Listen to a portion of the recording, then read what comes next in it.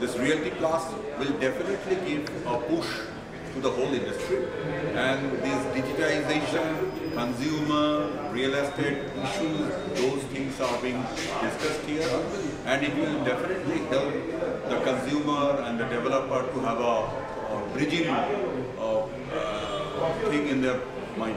This is definitely when something happens in eastern part of the India and that in Kolkata, it is definitely fascinating and entertaining. Uh, I was one of the panelists and I was uh, also a listener.